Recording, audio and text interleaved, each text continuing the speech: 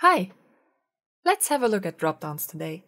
How to create a dropdown, how to set dropdown values via the inspector, how to get values when the player uses them. Then we will expand by adding and removing values in code, and we'll have a look at how to style your dropdown so it can fit your game better. And lastly, we will set the action that is being called when a value is changed by script as well. That is not always needed, but you might run into this case. You find your dropdown under UI, dropdown TextMesh Pro. How to get a value. When you select your dropdown, you have a dropdown component with a lot of entries you might already know from a typical button component. We will get to these settings in a moment, but first let's focus on this part, the options you want to provide to your player.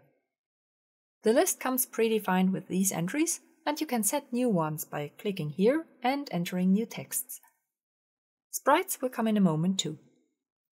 On value change is a list of events which get called when a new value is being picked from the list. This is what we need. Let's create a simple script to make it work.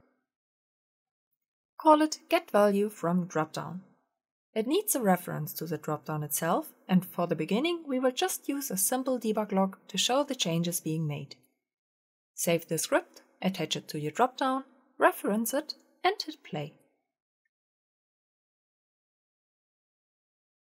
When we change the value, we can see it in the console, but as you can see, we do not get the name we entered, but the index of the entry in the list. We can use this index to access the actual entry name like this. Save the index to a value, then look up the value at the index's position inside the options list.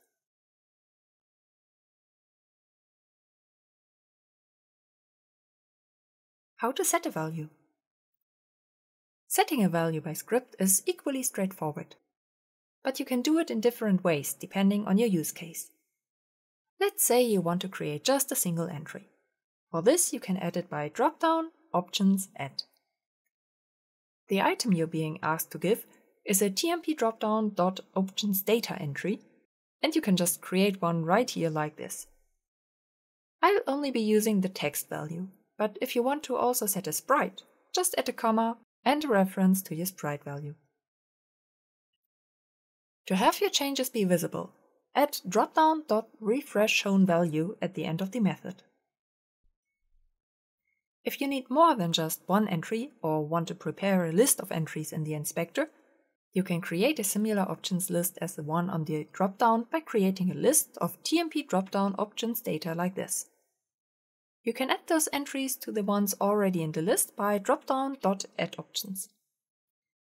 And a short aside, I'll be writing a few more methods during this tutorial, which I want to call straight from the component itself.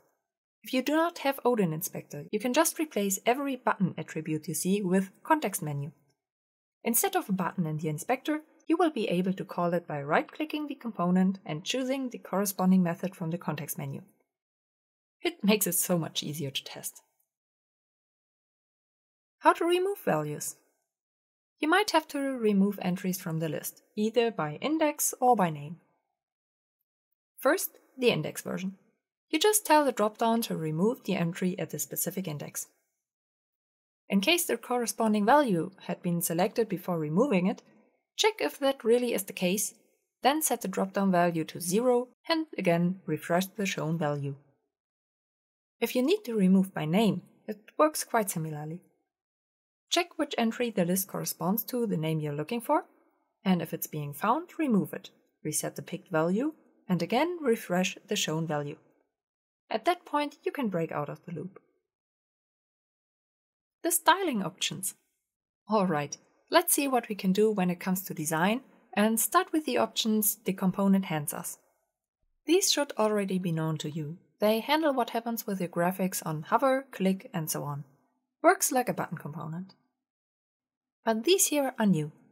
Template refers to a child element which got created when you added the dropdown to your scene.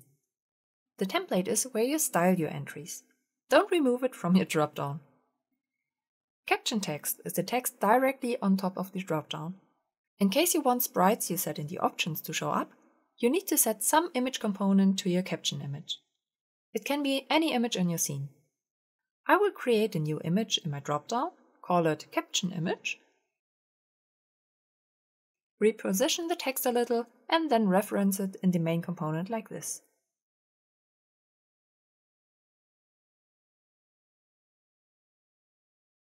I honestly haven't found a single use case for placeholder, so if you know one, please let us know in the comments.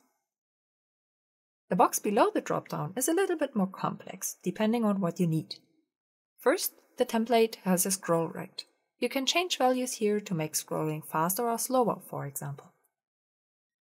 The viewport has a mask component, so if you need a bit of a different shape, you can change it here. Content refers to a single entry in the list. Its first child element is a toggle, so you can only ever set one as a value.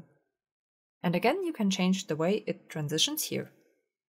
In case you don't want to display a whole box around your entries and instead want every entry to have its own background, disable the image in template and enable the image component in item background. Item checkmark is hopefully self-explanatory, and in Label you can change the look of the typography. Again, if you want to have a small sprite displayed in the entry, you will need to create a new image, rearrange the layout a bit,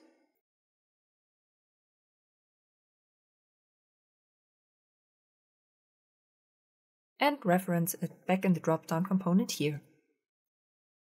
Lastly, you can also change the visuals of the scroll bar itself.